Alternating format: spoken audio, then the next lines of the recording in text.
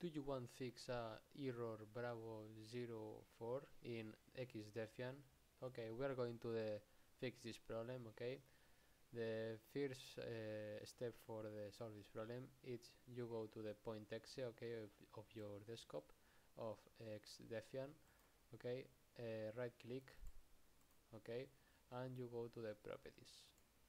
And here in the properties, we are going, okay, uh, here, okay, uh, in the versions okay and uh, you okay if you not have uh, here in, in versions okay you uh, okay you open the version okay and you apply and you accept okay the second step okay we are going to uh, here okay in point exe right click okay and uh, you go to the uh, open okay and you okay you open the Ubisoft Connect and you restart okay the uh, here okay the Ubisoft Ubisoft Connect.